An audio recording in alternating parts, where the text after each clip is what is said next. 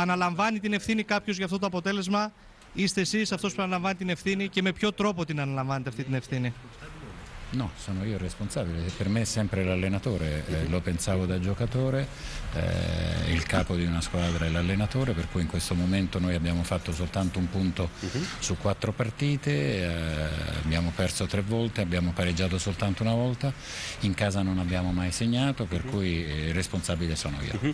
Εγώ πιστεύω ότι ο προπονητή είναι ο υπεύθυνο. Φυσικά, εγώ είμαι ο υπεύθυνο, διότι πιστεύω και από την εποχή που έπαιζα ποδόσφαιρο ότι ο προπονητή είναι ο αρχηγό μια ομάδα. Άρα, εγώ είμαι ο υπεύθυνος για τα κακά αποτελέσματα. Δεν έχουμε σημειώσει γκολ εντός έδρας. Έχουμε μόνο έναν βαθμό έως τώρα και πιστεύω ότι εγώ ευθύνομαι γι' αυτό. Το ερώτημα είναι ένα αυτή τη στιγμή που περιμένουν οι Έλληνες φίλαθλοι. Κάτι πρέπει να αλλάξει.